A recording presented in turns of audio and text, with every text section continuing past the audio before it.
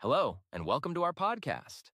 Today, we're diving into the intuitive world of Zoho Forms and how it can simplify your business operations.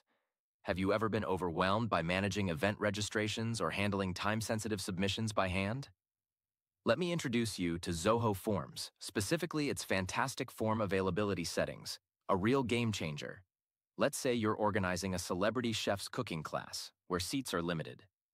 With Zoho Forms submission limits, you can automatically close registrations once all spots are filled.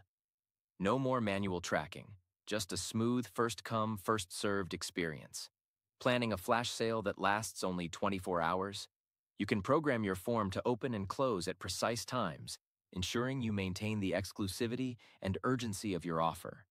And for those running recurring processes like subscription renewals or contest entries, automate it all.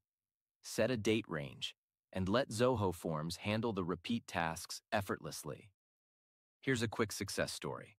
An educational institution used Zoho Forms to manage their application deadlines. By setting specific submission windows, they maintained not only academic integrity, but also kept their schedules on track, stress free. Are you ready to streamline your operations with Zoho Forms? Start your free trial today at Zoho.com and see how it can transform your business processes.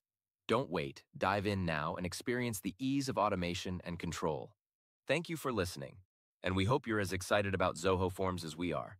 Until next time, keep innovating.